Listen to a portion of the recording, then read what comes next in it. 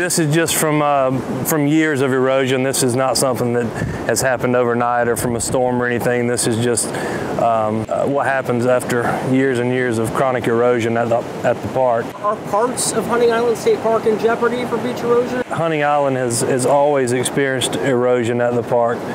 Um, and it, so it's always going to change. There always will be erosion at the park. You know, so it's it's a barrier island, and that's that's part of what Hunting Island is. This park is um, it's always it has a long history of, of erosion. Beach renourishment has been done in the past here at the park. Basically, that's just taking sand from somewhere else and then putting it in building, rebuilding the beach back up here. Yeah, this area here is um, is North Beach, and it's uh, it's the area that's located uh, right down from the lighthouse.